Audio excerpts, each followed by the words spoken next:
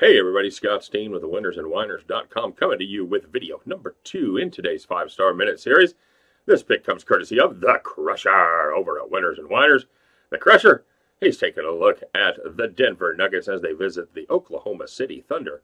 Uh, Denver is a five point underdog, and the Crusher, he has this to say uh, Oklahoma City is trying to avoid finishing eighth in the Western Conference, which would watch match them with Golden State in the opening round of the playoffs.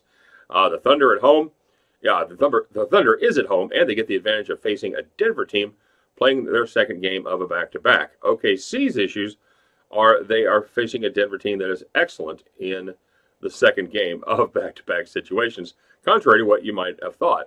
Uh, they're capable of grinding out wins and playing tough defense, and they do have a ton of depth, especially at the guard position.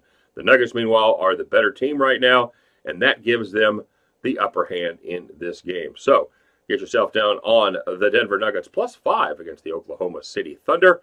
And at the end of this contest, you can join the Crusher as you both head back to the window.